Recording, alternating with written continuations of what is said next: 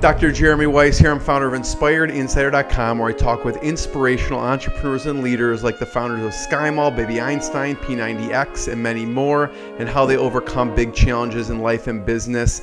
Today we have Steve Wexler, who's not one of America's leading direct response copywriters, but the leading America's direct response copywriter. America's leading direct. Yeah, and I'm gonna I'm gonna have you explain that in a second because I had to correct that. He's helped his clients generate millions of dollars with his control beating packages. What's especially interesting is that with his decades of experience, as I go through your site, Steve, you've created successful direct mail packages, print ads, website copy, radio, and much more.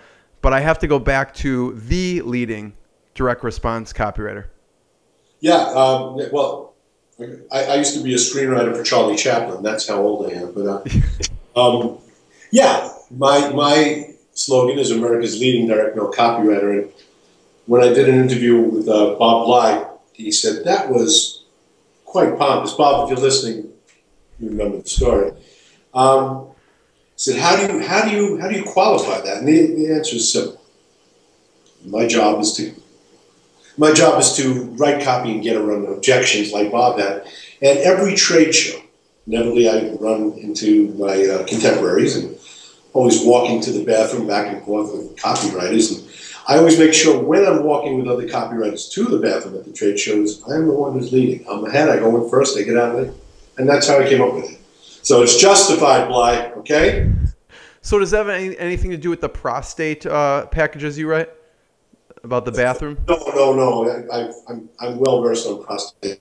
I never pee. I haven't peed in ten years. So pigeons come and take it away from me. Um, yeah, because I saw that on your site. I did see America's leading direct response copywriter, and I purposely put in who's one of because who am I to say who's the leading direct response? So I'm glad you made that correction for me. I never said I was the best. I just said I was leading. Got it. Um, so I always like to include a fun fact, Steve, and you're going to dig into all your life lessons and great stories. Um, fun fact that I would have never expected is you're a heavy metal drummer. My whole life, my whole life. Uh, Where does that come from? I, you know, I was supposed to be a rock star, but nobody else believed me, and it never happened. But uh, I, I, played with uh, uh Richie Sambora for five years from Bon Jovi. Um, I've uh, played with Meatloaf, with Edgar Winter, with uh, a whole bunch of guys for 15 minutes. 15 minutes, that counts. 15 minutes is time, my 15 minutes of fame. And uh, I guess we started, um, you know, I, I, was sure I was going to be a rock star and then have to go to school.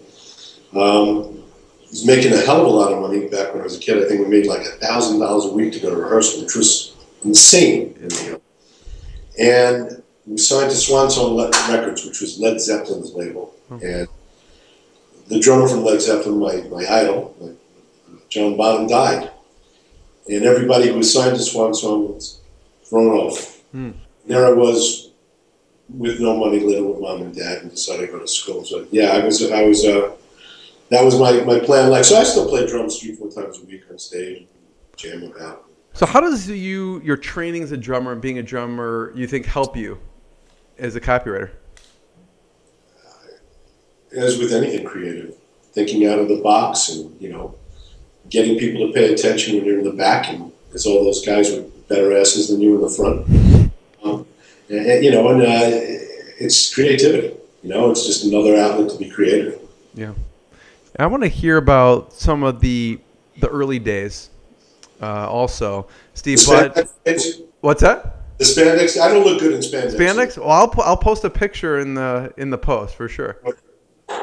Um, what's one thing the audience could do right now to start improving their copy or or sales messages? If I had to give you one key, I guess the tip would be to speak to your audience as, I'm speaking to you. Speak to somebody. Be conversational if you're going to speak about an anti-aging product, hey, Jeremy, if you were going to sell me an anti-aging product and you said, Steve, I'd like to improve your vigor and virility, you'd probably smack me. Who speaks like that? Nobody speaks like. Who uses the word vigor or virility? Right. You'd probably say, Steve, look, you look like you need a little bit of energy. You're looking a little bit old. Maybe you know, speak to. I don't think I'd say that to you either, because I think you are you from New York? Where are you from? I'm from Brooklyn. Brooklyn, yeah. So I would not say that to someone from Brooklyn. I may Oh, get slapped back. But I mean, you know, it's just about having a conversation. Whether you're having a conversation with one person or a million people, you're not going to use words. And, you know, I, I see a lot of these young copywriters, and they get out there and they just start speaking languages that they never would. You know, they wouldn't say at a bar to their friend. hmm You know, we're not writing textbooks. We're not writing brochures. We're writing conversation pieces. Mhm. Only we're the only one talking, which is my favorite kind of conversation. Yeah, it's a good point. Did you learn that from someone, or naturally, or did you learn it the hard way? I learned that from millions of people who wouldn't buy pretentious copy. Millions of people told me, said, that piece is going to fail. Can you please say it again? Now tell me in ways that I understand. Which one was it? Do you remember one? I mean, this is just years and years of, you know, the, the, the best way of the best way to success is failure. Right. So if, if, if you count the, if you keep failing, then you got to start analyzing what's wrong. Eventually, you'll you'll get it. But conversational copy is probably the, the key point for me. Is, is, is a is a key to any copywriter success. How did you know it was that, and not like someone would say, "Well, maybe that headline's horrible, and no one read the rest of it." I don't think there was any you know pinnacle moment. Mhm. You know, it's sort of like when a baby's walking and his left foot is facing that way. Oh, that's not going to work. Let's try. Oh, yeah, okay, if I aim it this way. Yeah, I think it's just you know testing, which is Yeah. which is you know imperative to any successful writer. So I want to go back to growing up. What's a good story? Where do you get your influence from from growing up? Uh, influence in writing. Not anything, just in life. uh, Something that influenced you early on. I think being a musician made me uh, uh, help me get my success in, in writing, just because it's creative. Also, I wish I could remember the, the professor's name in college who uh, gave me a D in English and told me I should, you know, get a fruit stand. um, but uh, she didn't like that I spoke conversation. Were your parents in writing, or My father was uh, a combination kosher butcher and uh, wannabe uh, Spanish guitarist, flamenco guitarist. nice? And my mom was an artist. Did you ever help out your dad? Uh, delivering? Yeah, delivering or cutting meat, or what? What was it like? Yeah, I got fired because I would take drumsticks and just pound, you know, everything I saw, and I eventually got thrown out of the store. So yeah, that lasted for 15 minutes well. So, how did you transition to copywriting? Um, again, we were. Um, uh, I was thrown out off of Swan Song Records and left penniless on the street. And I said, "Man, now what am I going to do?" You know, Yeah. this rock star thing isn't going to work out. I went back to college, and when I left college, a cousin of mine called me up and said, "Hey, you want to be the warehouse manager of uh, Dr. Leonard's catalog, which was uh, never heard of them. They were very successful home health care catalog, selling wheelchairs and seniors' aids and things like that. Um, started as a rebuyer. Uh, basically, a rebuyer is a monkey's job. They tell you to order a thousand units, and you call them up and say, "Let me have a thousand units." And looking over the catalog, just a kid fresh out of college, and I realized that, wow, these little words on this paper is why people are ordering. And so I started writing, and the orders started getting bigger. Hmm. Because our writers, I guess, weren't that good. And, you know, just little blurbs. Uh, I guess mini Skymall type of copy. Mm-hmm. One paragraph, two paragraphs, and you're out. And my, my phone calls started getting more influential. Let me have 5,000 pieces, then 10,000. Let me have a container load. So I, I started really realizing the, the power of copy early on. What were you sending out? Were you changing little excerpts in the catalog itself, or what were you actually changing? I was rewriting headlines, which is you know half the battle. If you don't get them to read your headline, you don't get them anywhere inside there. Nobody reads an ad without reading the headline. Right. So it, it gave me uh, it gave me really good training uh, in in writing compelling headlines because you only have five lines an hour. You know, now I write long form, 24, 32 page pieces and websites and radio. But um, the conciseness of selling something in short form copy was really a, really a help. Of course, when I had to transfer to the luxury of 32 pages to make a case, I was, wow, this is freedom, you know? I keep writing. But um, I think writing short form copy may be one of the hardest types of copywriting around. It's a lost art. Yeah. So, what did you do after Dr. Leonard's catalog? Um, I went and started a competitor, Health House USA, for a company called, um, Jesus, I can't even remember the name. But anyway, Health House, Health House USA, which was the brother of the owner of Dr. Leonard's, and I guess they were at war and uh, started beating my old company. And there I, I went to work with uh, a guy named Bill, uh, Bill, uh, Paul Romano and Jack In Florida. They had a company called Healthier You and uh, started my training in long form copy. And then I started my own business. So, did you have mentors? Was, was someone there mentoring, or were you just learning on the fly? Yeah, that's it. That's I, I was lucky. Everybody needs a mentor. I was taught by two of the best, which the two brothers, Larry Brown and Steve Brown. Steve Brown started a company called Cheese Lovers, and they were the biggest mailers on Long Island in New York. They, they just owned the post office there, and he used to write copy. Sort of like the old Swiss colony, you know. I'm, I'm very old, so this is much older than But they'd have, you know, huge hunks of cheese and these serpents going through the holes of Swiss cheese, and these almost naked women wrapped around the serpents. And, you know, and they're traveling around the world finding these exotic cheeses. It was huge. And then they brought me in to do this health catalog. And from there. So, what else did Steve teach you that you remember?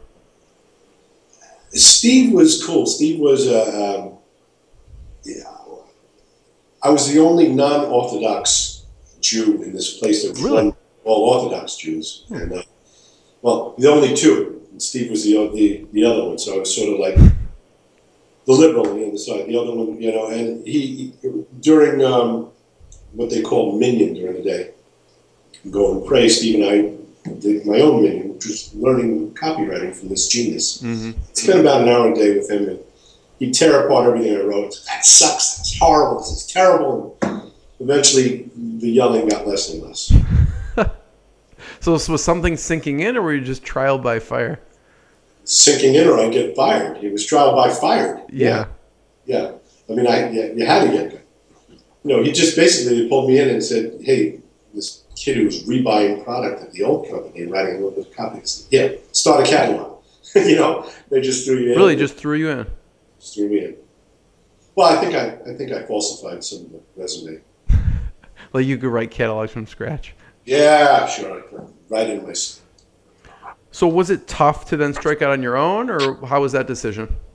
No, it was. You know, well, it wasn't tough. I, I was uh, the company that I worked for, they, they didn't want to use, they, didn't, they weren't successful with that. They didn't want to throw enough dollars in the catalog, and suddenly I was with two kids and, uh, you know, and a wife and two cars and a big ass house and a giant lawn and no way to pay for it. So, uh, remember that night, I came home and said, well, that's the last paycheck, and I ran and spent it all on toys for my kids and borrowed 10 grand from a good friend of mine, and we started uh, Steve Wexler Creative Group right there. America's leading direct mail. Love it. Where copying ideas generate millions.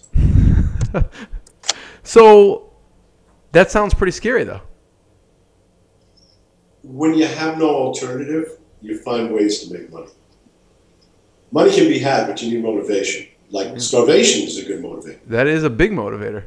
And having your kids, you know, penniless and naked on the streets is another motivator. So you figure it out. So what do you do first when you start your own company? You go and spend your last paycheck on your kids on worthless toys, and then you figure it out. Uh, you uh, I put out ads in all of the papers. Um, used whatever connections I had, and, and, eked out a couple of jobs, and did a couple of print ads, and a magalog, and then another one, and another one, and you know, 20 years later, um, still doing it and pretty successful. So, Steve, when you first put out those ads, what were you advertising for? What did what kind of jobs did you want to get early on? Well, I had I had a you know my specialty in the health market and the seniors market. Yeah. and kind of know knew their wants and desires because Yeah. that's where I was thrown in. I was thrown into that arena, and that's what my specialty was for Yeah. you know 10, 15, 18 years prior to that. And I'm still in that arena, you know, selling a lot of supplements, uh, health supplements, and basically that's where the direct mail business is older from. You know, and of course, gone off to do web and some TV and radio and morphed out as as the internet starts squashing the mailbox. You know, you're moving out, but it's it's it's the health supplements that that uh, have been my specialty for a very long time. Yeah. So, what are some of those wants and desires that most people don't know about, but you're so familiar with the seniors that you think like them? Well, I I, uh, I tend to pee in my pants a lot. no, I, I mean, everybody wants to be younger. Everybody wants to be younger. When you, Jeremy, look in the mirror, you see yourself maybe five, seven, as much as you can. Like 10 years. Right. Yeah, you know, yeah. Right. Uh, of course, I see myself as a skinny, wrinkle-free, beautiful young man. The music you listen to now, I don't know you. This is the second time we've spoken. I can pretty much guess it's the same music you listen to when you're 18 and 20. You know, when you have your car windows closed up, and you're, something not. I can pretty much guess it's nothing current. Am I right? Yeah, yeah. Yeah, I mean, you do listen to current just so you can feel better about yourself. But what you grew up with in your prime, what you had fun with, is how you look at yourself. And when you look in the mirror, you kind of look at yourself as that guy. I still look at myself as that 30 year old guy, you Yeah. know, Yeah.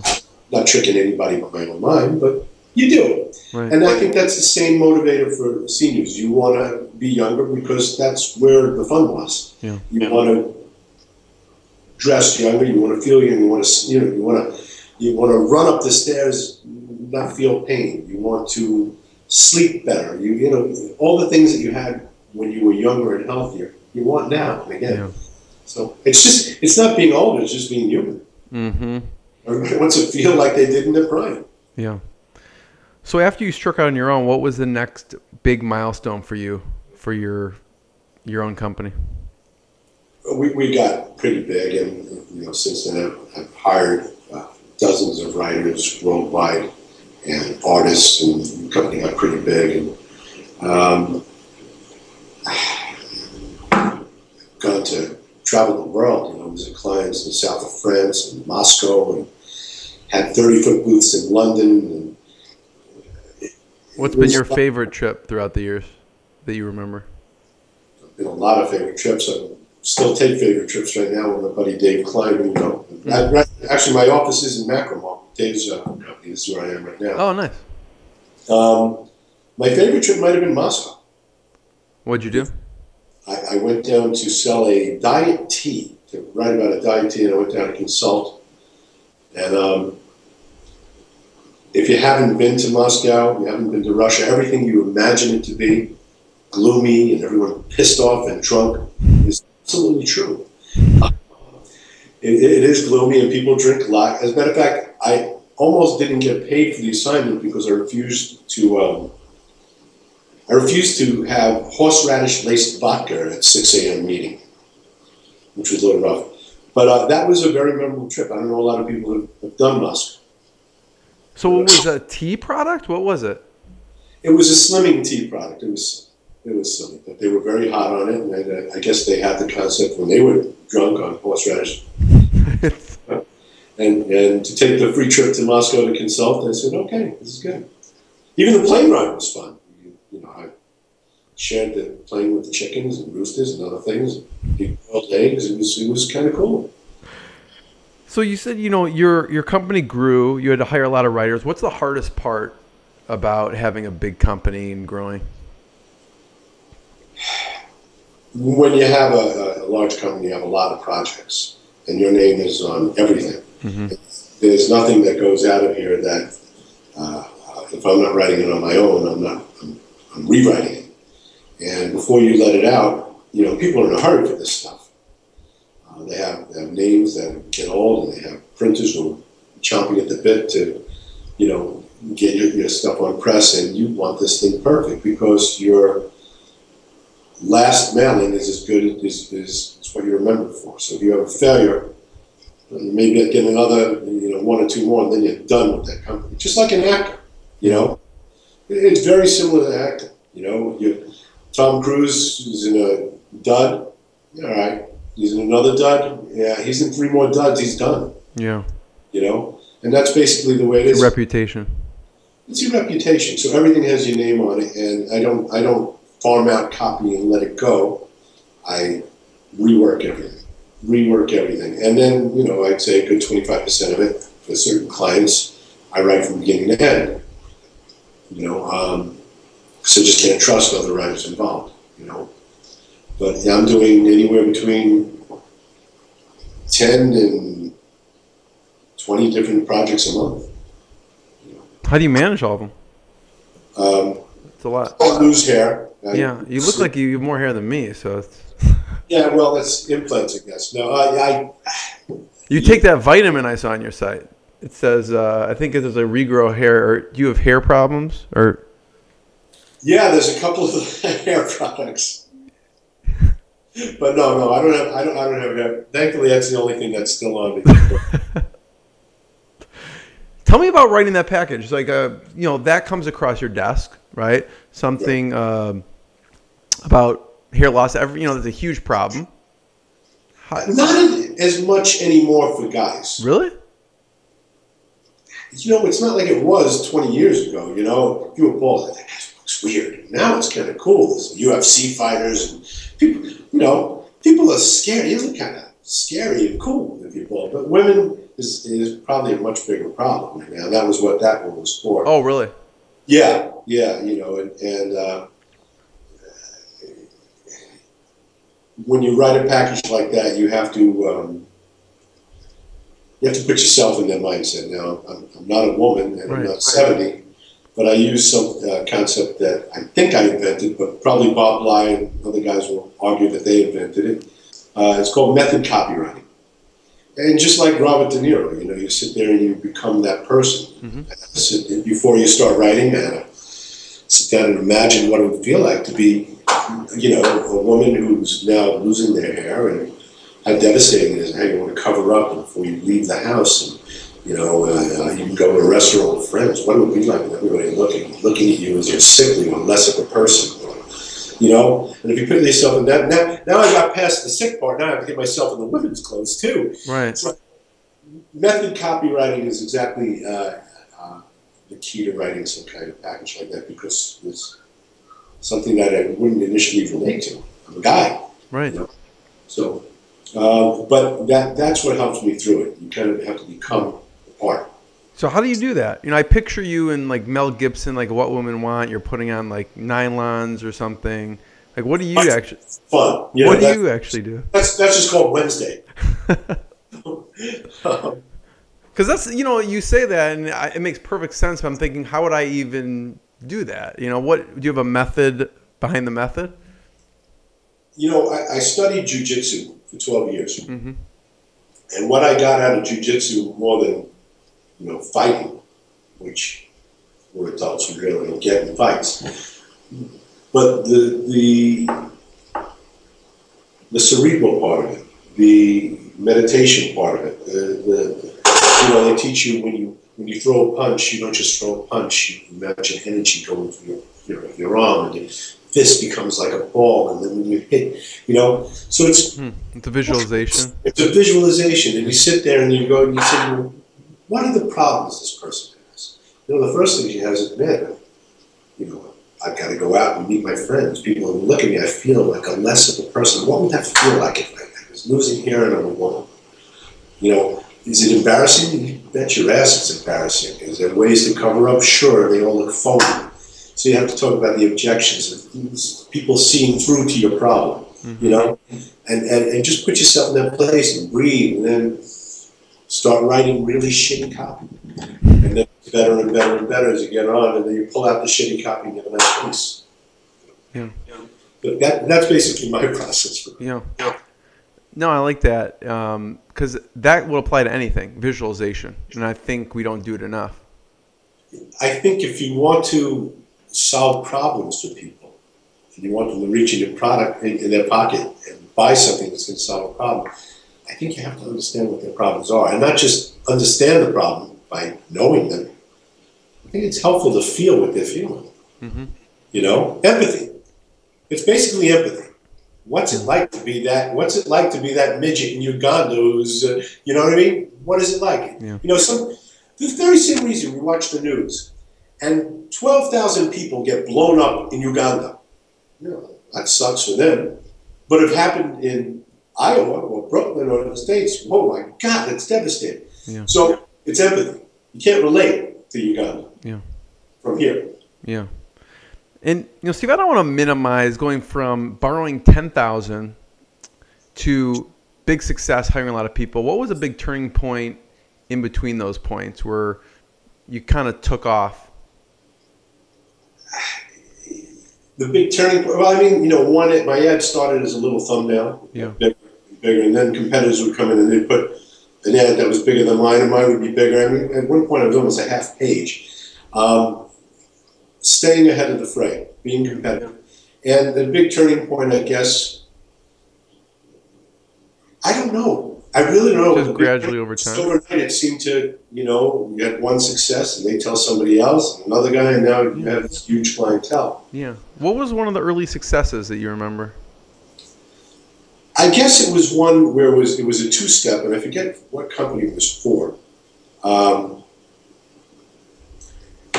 it's where I did a, a uh, and again this was a newspaper ad where it was for a paint product. It was a, a, a paint product, a roll on, and the roll on was uh, had a little capsaicin in it. So we put it on, it had this little burn, and we had a doctor, and we said, you know this is so incredible. It's so amazing. You know what? I don't even want to charge you. Don't believe me. Try it for yourself. Just give us your address. Put in two bucks. We'll send you a free sample. And in the free sample is like a little handy one.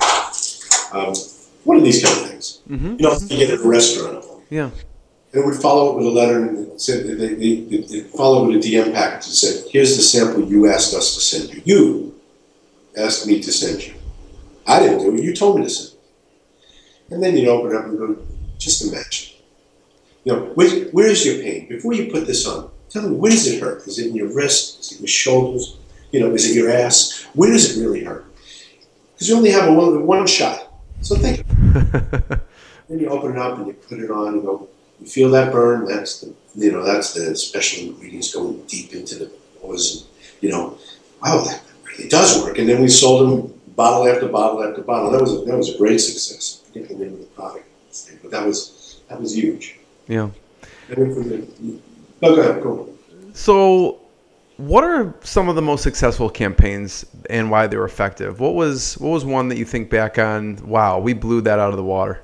Well, that that was one. Mhm. You know, it, it was a. You know, we had a coinciding catalog, and the catalog, I believe the first six to ten pages was just for this product. Wow. Out, out of a you know thirty-two page book, that was a lot of cost behind the product, it did pretty That's well. huge. Yeah. It's pretty good. Any others that you think of? There was uh, one I was looking at. Um, the stand up like you're 20. Yeah, you mean the ads that you can't say anything about? Yes. You know, that was. Uh, How'd you come up with that headline for one? I, I don't remember that one. I know you mentioned that, but there was one for the Better Sex video. Okay. It was uh, it was Adam and Eve had a very educational DVDs about you know for couples on you know called the Better Sex videos, and I said, man, I can't say anything, but all right. Imagine the best sex you ever had. Now multiply that by twenty. so that that worked. I, I, don't remember the steadily twenty, but you really now it's gotten even worse. You can't really say anything. Why? What? Why can't you say anything? the papers won't print it. Oh, Uh, it's too graphic. You mean? and you know, a lot of times it's just it's it's too gra- well, it's too graphic. They don't want to talk about sex because you know, it's, again, the papers are going to people who, you know, middle America and seventy and above, and they, they get offended. So you have to find ways to, to reach them. Smiling Bob did it, you know, to reach them without without saying it. Mm-hmm. You talk to me with a wink, but just don't let anybody else know what we're talking about. Yeah. You know? Yeah. So what about the? I mean, there's a number of them on here, like print, direct mail. Do you have a certain medium that you prefer writing for than others? Because you've written or done most anything. Uh, it's all sales. You know, it's it's it's sales on paper, it's sales on web, sales on media. You're salesman on paper or, or the air. It's just sales. Doesn't Yeah. matter. Sales is sales. I mean, like you know, you write, um, you know, do a postcard or a magalog. Obviously, magalog is going to be a lot more work. Like you may prefer that because it's longer. I don't know. Well, you know what? A postcard I find, and Dave Klein asked him, he makes fun of me all the time. I'll tell him a postcard's harder than that. Really, why? Because I got to make a sale with a few words. I've got to get into that person's head and get their wallet out of their, their, their pocket and make a phone call Yeah. with a few words or images. Where Magalog, you know, they have 24 pages. I don't want to read that. And this headline doesn't grab me. This headline doesn't grab Oh, this headline grabs me. Let me read about that. You know, you have, you have room to sell. You got to hope and pray that that postcard, you know, uh, uh, will grab somebody's attention. And the same thing, the same thing with radio. I mean, that's what testing's about. Yeah. So, what do you think sells well or doesn't sell well with postcards? Like, what would you say? Don't use a postcard for this. Anything that requires education. I have to teach you what a product is. I don't have any room. Yeah. You know, I can sell you Mercedes Benz for a dollar fifty easily in a postcard, but I can't sell you a you know a doctor's resuscitation, whatever machine they use in you know radiology in a postcard unless you know what it is. Mm-hmm. So I need room. I need room to educate. I'm going to go to a longer format. If it's something that's common and easily understandable, then you know a smaller format is fine. Yeah. So I mean, everything has its, its Place. Yeah. So you were mentioning before we started talking about ugly up front. Ugly up front. Tell me about that. There was a guy named Drew Kaplan. Drew Kaplan used to have the DAK catalog, and I learned that lesson from him. And he talked about how he'd bring in all these goods from China, and he found this burglar alarm, little square black, really a, a non-dramatic piece of metal that really couldn't protect anybody. And that would be the first thing it said, just like a little black cube. And the first objection to showing this was, you know, world's greatest burglar alarm. What? It's a little piece of crap. And he started the copy with, this may look ineffective and tiny, but you're going to be glad you have it, you know, when you need it. Because this is loud, piercing scream and this and that. So you get the ugly up front. You get the ugly, get the answer to the objection before you even start, and you're in good shape. Uh, Hillary Clinton just did it. She did it with, it's not about me, it's about you. That's her new campaign. Get the ugly up front. It's not about Benghazi, it's about you. You could say that for anything. Yeah. Well, yeah, get, get, answer the objections. If you can answer an objection right up front, then you'll get them to read to the end. If you can't answer the objection, no one's reading. What would be an example, um, Stephen, like the health niche on a health product of when someone or you put the ugly up front? Well, that's a tough one. You know, I didn't get the questions till about a half hour, an hour ago. I just made that one up, so. You know, I I'm just curious because I know you do a lot of health stuff, and I'm trying to visualize. You know, I could see if a product, you know, you can describe it, and there's something wrong with it, or doesn't look cool. I'm trying to think of like um, in aging, anti-aging, or vitamin, or prostate, or if you tell somebody you're going to have a whole new stomach lining within a year, you're going to have, you know, new skin within days. You, I think, you know, you, you start saying these outrageous claims, you better be ready to qualify that. And the way to qualify that is saying, look, you may think I'm crazy. You may think it's unbelievable. Just give me a minute. Let me explain. The let me explain clause helps a lot mm-hmm. you get some to read, and then you have to explain why the science behind it. Now, do you get me? Okay, Yeah. that makes sense.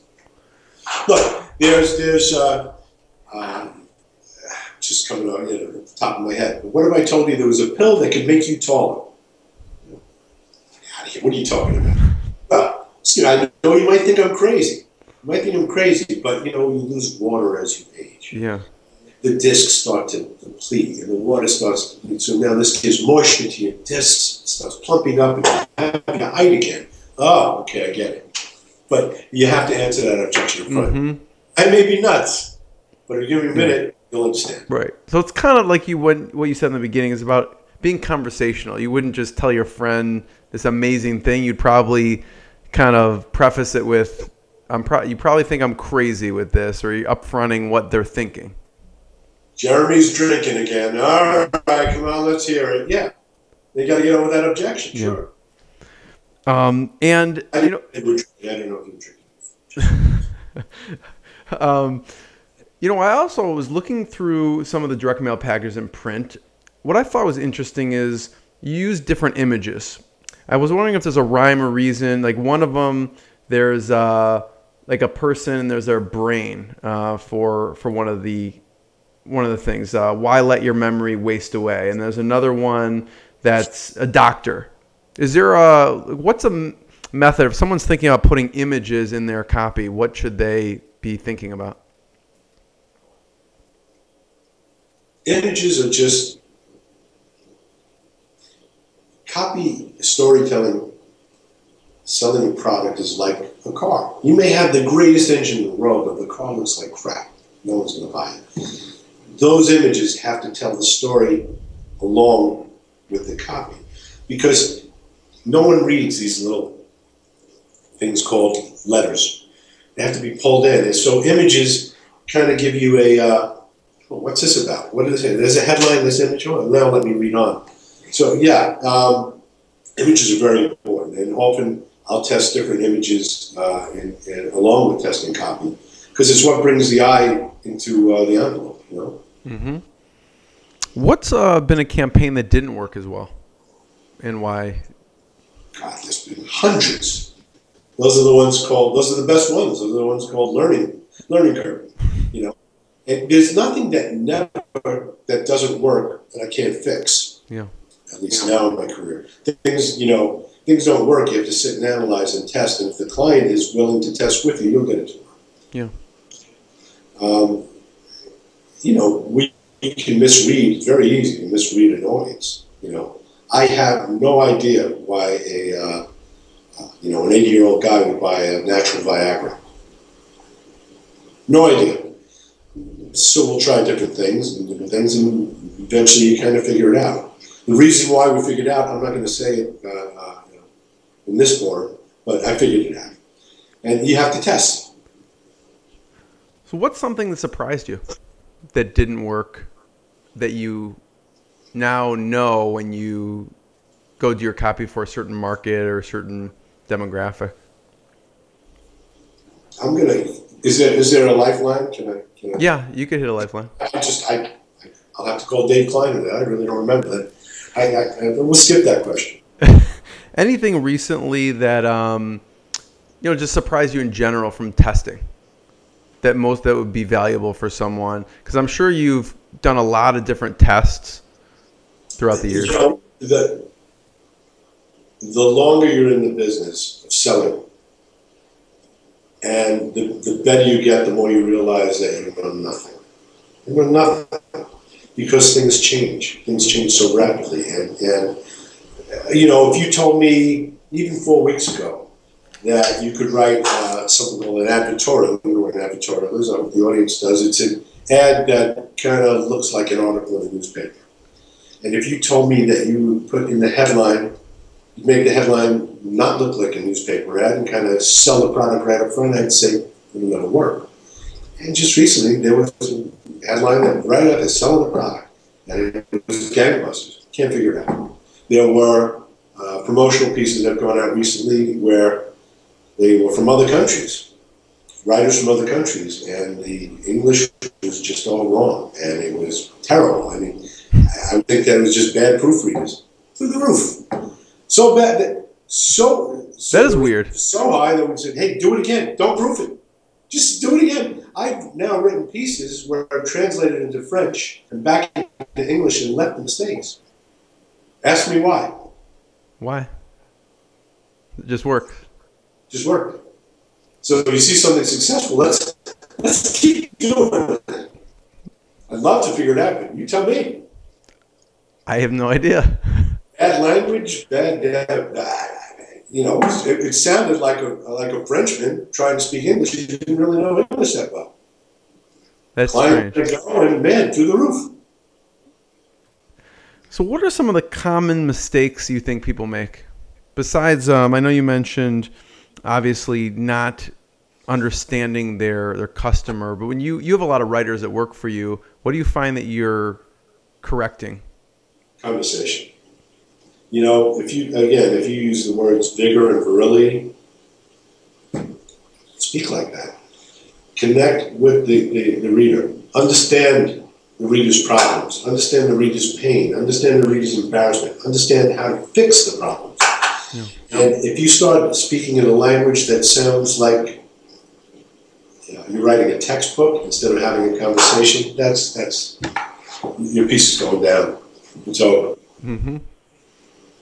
What's your process, Steve? If you, you know, let's say you get a package and you're going to write it from beginning to end, you're not going to hand it off to anyone.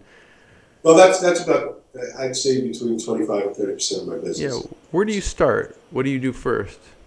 So people can kind of get inside your decades of experience. I I, I treat it like uh, you know those coloring books when we were kids and do the outline and then you fill it in. Yeah. You know, I, I, I outline it. I figure out all of the points I want to hit and what pages and what order they should be in. And uh, I start, you know, once you have the outline and an idea, not even the headline, but a concept of what the headline should be about, yeah. it's kind of easy to fill everything in. Yeah. That's Before I start, I kind of I have it laid out in front of me and just have to fill in the dots. I mean, do you start with outline? Do you start with the headline, or do you start just with bullet points, or? You know, you could be hung up on an opening headline for weeks. Headlines are hard. Yeah. So, you know, if I don't have a headline, I'll just write a crappy headline to begin with and then start writing. The process is start writing. Because I don't care how good you are, uh, the beginning of your experience is going to be a lot worse than your end because you just have to start. So, like jogging.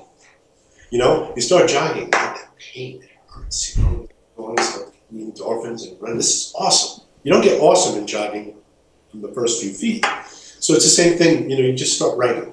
Start writing and just, you'll throw out most of the stuff you began with, but it'll start the endorphin, the endorphic writing. It keeps you going. Yeah, yeah. What about, you know, obviously you deal with clients. This is not in a vacuum. Are there certain things that you advise clients to do that they don't listen? Yeah, all the time.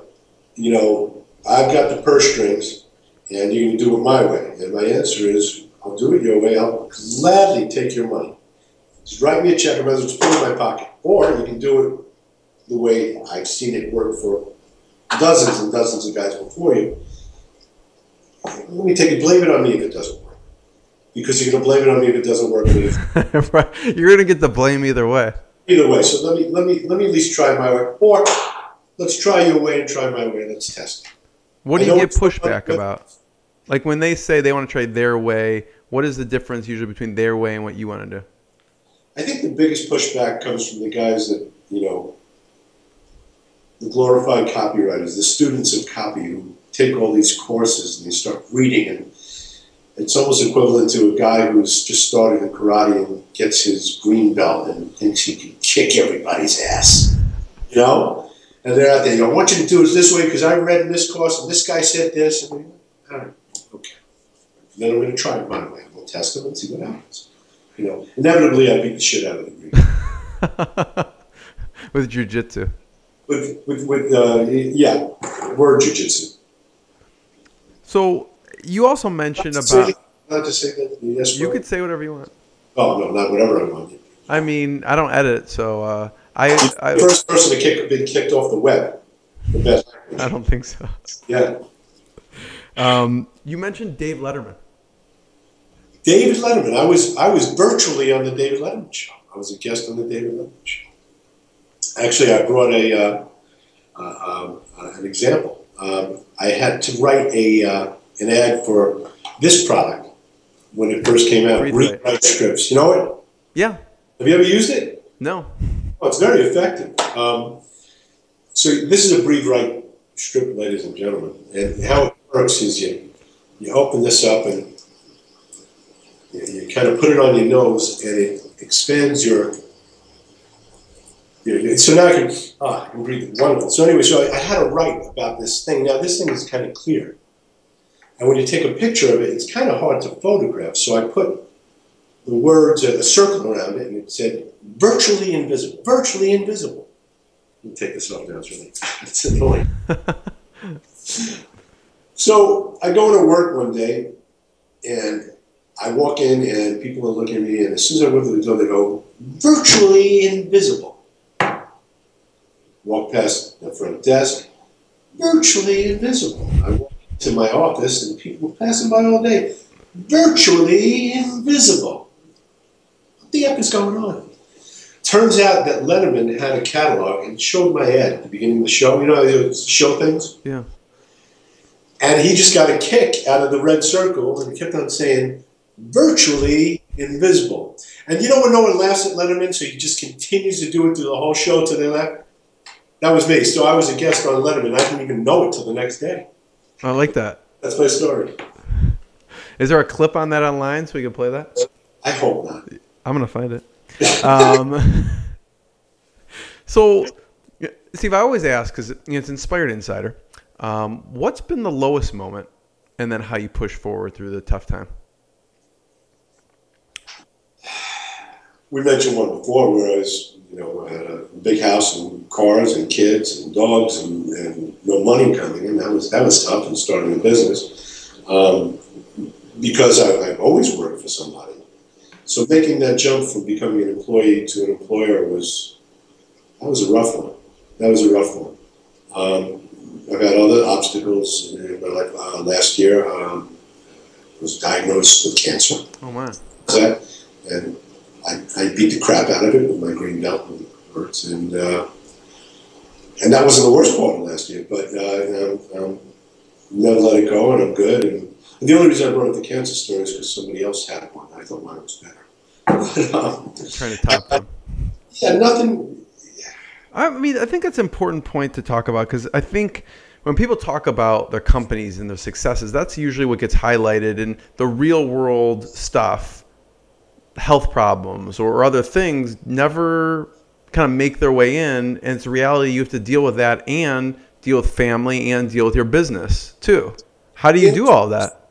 The biggest fear was, man, how am I going to, you know, uh, keep the people that depend on me alive? You know, what am I going to do? Am I going to die? This and all the stuff, the mortality. Right. starts to hit you, and you you know, and you know you have to keep yourself grounded, and and, and I think what really got me through it more than anything, and it was a very tough form, aggressive form of cancer that from one of the very few people uh, lucky enough to beat it because of, and I'm going to say this to everybody. Uh, early diagnosis. Go for your exams early. Go for your, you know, your prostate exams. Go for your. Uh, uh, it's what saved my life. But I think work is what pulled me through it. It distracted you through the method writing and stuff like that, brought you into other worlds, and I was able to escape from that, at least for the hours that I was writing. Yeah. Uh, and, and, you know, there's nothing like, uh, you know, and also just kind of bringing all this money before I, you know, meet the Grim Reaper. But uh, luckily I beat it, and uh, Yeah. life is good. Um, Yeah. Congratulations. That's too. Thanks. yeah. Um, what type of cancer was it? It was pancreatic. Oh my Which- God. Yeah, they say uh, the worst. Within, within uh, if you know you have it, you're probably going to be dead within a year. So that was the story I heard. But because I went through this early screening, uh, my sister uh, urged me to do it, um, Really? and I'd been, been estranged, estranged from her for years. And out of the blue, she said, "Go get tested." Why did she say that? Were you having something? she got? She got it. Really? She got it, and um, just went. And they, when I went to the doctor, he said, "Look, you should have come to me in three years and been dead in four. Wow. Um, That's amazing. But I, I, because of early detection, I, I, thankfully, Yeah. I got through. It was it wasn't even you know wasn't even a factor. I got through it. Wow. I mean, early detection is one thing, but you have this kick. I'm going to kick anyone's, you know, butt mindset. I mean, that's just how you are. So that has something to do with it. Grow up with long hair during the disco disco era in Brooklyn. you got to survive. Did you get your butt kicked a lot, or what? Well, if you got your butt kicked, if you got your butt kicked, then you know you were you were less than a human ah. being, and if you won, you were a musician. You see, I have long hair, and everybody else was doing that, that disco thing back then. So you know, we were sort of like the freaks and the outsiders back then. But uh, you gotta you gotta be competitive, and you had to fight all the time. Yeah. Uh, that's the way it was growing up in Brooklyn. Yeah. No, thanks for sharing that. It's uh, congrats on just being the crap. Most of my clients don't know that know this, so uh, if they see this, I'm alive and healthy, guys, and Yeah. you might kill it back. alive and healthy and kicking more, stronger than ever. On the other side of things, Steve, um, so what's been one of the proudest moments and accomplishments? The proudest moments. Yeah. Could be business and personal. I, I don't know if it was a moment more than a, a, just a gradual rise in success. And I guess the proudest moments I have happen every time that I get a, uh, a royalty check. And they say, man, this was a hit. Tell me about one of the royalty, big royalty checks huh, and what you felt. Wait, wait, repeat that question? Tell me about one of the big royalty checks and then what you did with one of them. I, you know, there isn't anything I did with it. It's hmm. just, yeah. Well, I mean, when you didn't have money, you took all your money you spent on kids' toys, so you must have done something with it. squirreled it away. I'm a Jew, you know that. right? That's what we do with money. They said Jesus saves, but Moses invests. Very important. I mean, you didn't buy yourself any fun toys or go on a vacation or Oh yeah, something to celebrate. of course. You know, uh, you, your lifestyle goes up, and you go on cruises, and you do some fun stuff, and hit your bucket list. But uh, nothing, nothing that stands out in my mind. You kind of like to to pin me down to these little snapshots. I- I, I- can't remember them. Well, that's what happens when you have decades of experience. So I find with your, it's hard to choose one. You It's know? hard to choose one. Yeah. I've, I've had more fun than any guy should, you know, uh, lay claim to. I've, I've had a lot of fun. As far as uh, uh, my career, I've done a lot of things that I'm proud of and a hell of a lot of things that I'm ashamed of. But um, it, it's been a fun ride. And uh, not ready to get off yet. Yeah. You know, there was one uh, quote on your website from um, Joe Russo, and he says we're mailing 1.5 million packages per month. Yeah. That's a lot of packages. That's a lot of packages. That's a, that's a lot of cruises. It's good. Yeah. So what are they? What are they mailing? Uh, I don't remember. I haven't looked at my website in a while. I don't know which one you referenced, but uh, uh, I, I, don't remember. But uh, I've had a lot of those. I'm just curious. Like that's a large number. it was a health package. Yeah. You know, that's that's the bulk of the stuff that I do. I mean, I do a lot. I work in all worlds. I've written hundreds and hundreds of psychic pieces for uh, Psychic pieces? for Europe. Yeah, you put the babushka on your head and stir the cauldron, and you have a little wart on your nose, and you know, you, you Dave. You know Dave Klein? We've we've chatted. Come, come on, come on. He's out. Okay, goodbye. My best friend, Dave. One of the most intelligent guys I know. Um, I'm sure you're going to have a, a, an episode. We we chatted with yes, we've chatted. He said he's going to meet you in Chicago. Yes. He's uh, one of the most gracious, uh, smartest, best business guys I know. Told me a hell of a lot. I've been uh, affiliated with Dave for about a decade now. How did you meet? Dave called me up and saw that I was uh, the leader of the pack in, in uh, copy world for a while. He said, "Hey, you know what? I've got this big thirty-foot booth.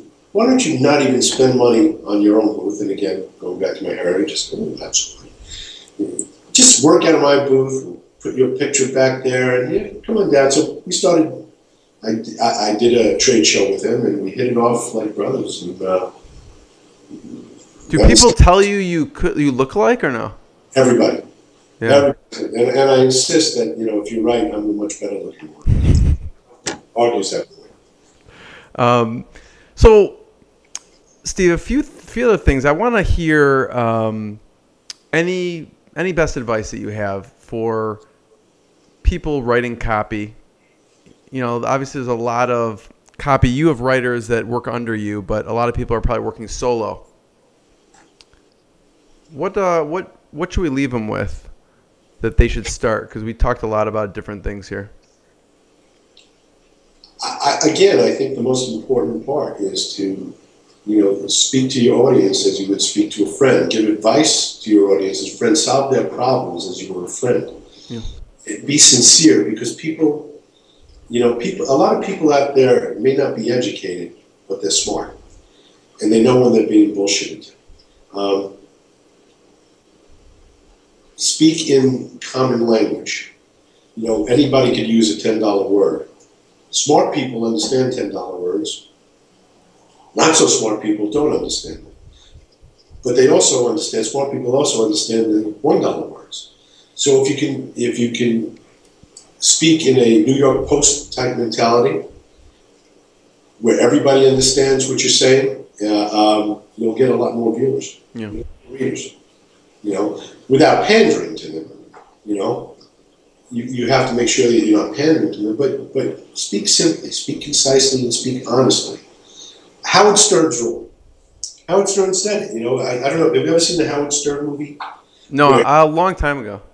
He had he had a revelation, and they gave him this thing about this restaurant or some you know department store. He goes, oh yeah, I go there every day. I buy everything from the store. And he goes, I never even heard of this place. I don't do this. And he, he realized at that moment that being honest with his viewers, my readers, is, is the most important thing. And if you don't believe in the product, which, hey, we don't believe in everything we sell, you better believe it while you're writing it. You better convince yourself that this is the, the, the, the best thing ever while you're writing it. You can let go. You can let go of it later, but you better believe it.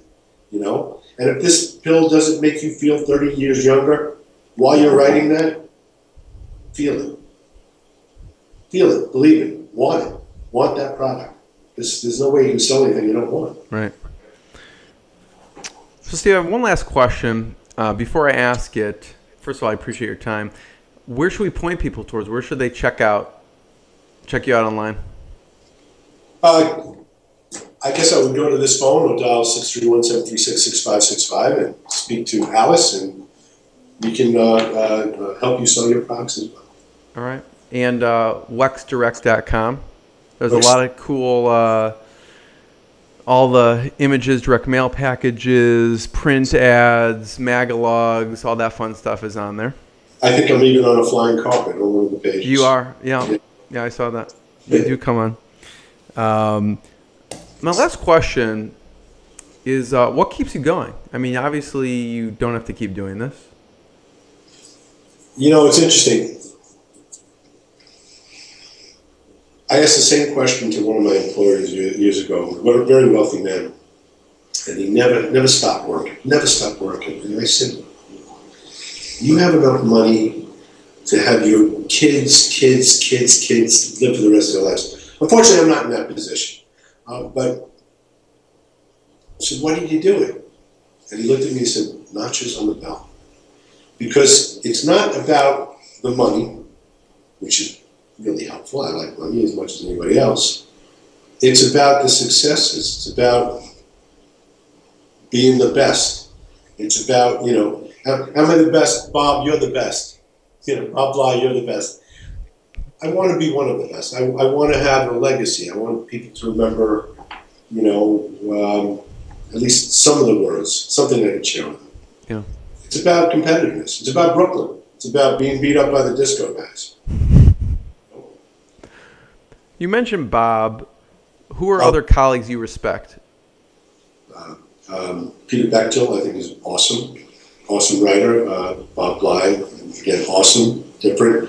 Um, uh, there's just dozens. Uh, uh, Clayton Makepeace uh, is amazing. although he's a teabagger and hardcore Republican, so I don't agree with anything he says, other than his copy is brilliant. Um, and, and then in the, the non-copy world, again, uh, guys like Adam Moran here and Dave Klein and uh, uh, just dozens and dozens of people I respect. Yeah. Me a lot, whether you're writers or not. Yeah. yeah. Steve, I appreciate it. Anything else? Any other stories that I'm that we didn't talk about? I know you you made a few notes. Um, what did we not hit on that would be a fun story to tell? Don't let attorneys scare you when you're writing. I try to write. Well, first thing I do is I ask my, my clients, one to ten, what's your aggression level? Everybody knows if you're at a ten, you're going to sell a lot. Mm. At a one, you're not going to sell anything. So, what's your aggression level? If you're at a five, I'm going to write to a seven. If you're at a seven, I'm going to write to a ten or a nine. And a lot of people get flustered by. That's an interesting question. I wouldn't have even guessed you asked that question. Actually. Always, always, because you know I'm going to write to a ten, and the guy says I can't say anything, can't make any claims on my product. Hmm. Unfortunately, in the supplement world, there's a lot of great products out there, and there's a lot of rules and regulations where you can't can't cure anything. Even though I can I can cure aging, aging isn't a disease. I won't use the word cure. Um, so I, I, don't let the lawyers scare me. I try to work my magic against them. They're only working with words, so I work with words. And I'll give you a good example. Um, a few years back, a lawyer said to me, I couldn't say now available without prescription. Hmm. And a lot of these, you know, you get a, a, a, bad attorney and he just wants a red line and everything you do and you got to write over. You can't say anything, and he gets his debt put on his house, and the client to sell nothing. You know, so he said, I can't say not available without prescription. Now available without prescription. And I asked him what his objection was, and he wouldn't tell me. He wouldn't tell me. I pushed and pushed till they just hate my guts. And finally, he said, "You can't say it because it inferred that it had a prescription before." and it doesn't need it now. And that's legal. So now available without prescription. Now available. How about available now without prescription? It's available now. You don't need a prescription. Oh yeah, you can say that. So it's, it's your words against theirs. You can you can figure out ways around everything. Write to say what you want to say, and then fix it later. Don't be, don't let them scare you off, else you're gonna have milk toast and that's not work. Why do you think he pushed back so much and didn't tell you why? Because he was nervous, I guess, that if you came to a solution, he would look like the, the you know ineffective. Yeah. You know, a good attorney, and there's a lot of great ones. Uh, I would say Andy Lustigman you know, in Manhattan is terrific. Understand that you have to make a living, and they understand that you have to sound aggressive and they'll give you really bad ways to say stuff compliantly, and then you can figure out good ways to say it and sell it. Yeah. Bad attorney just redlines. And I did my job. Don't worry about making money. If you don't make money, I'll go to another client that has money. You know, so the attorneys, you know, us copywriters work with attorneys constantly, especially in, in regulated fields like supplements, and drugs, and things like that. But don't let them scare you off and kill your copy. Write to the aggression level of the client, and you'll deal with the attorneys later. Just make sure the attorney understands from the beginning. You're not going to be easy. Yeah. You fight back, either you're going to win or they're going to win. But at the end, the client wins. Yeah. Anything else on that sheet that we make sure to cover? Cure for the absent-minded. I don't know why I wrote that. Uh, it, sounds like a headline that I'm going to use later on. I don't know what to say. That's the only thing I left off. Nobody steal that yet. I got to get that out first. Okay? Steve, I appreciate it. I want to be the first one to thank you so much uh, for your time on this. No problem. Yeah. Great time. It's great talking. All right. I'll speak to you soon. Take easy.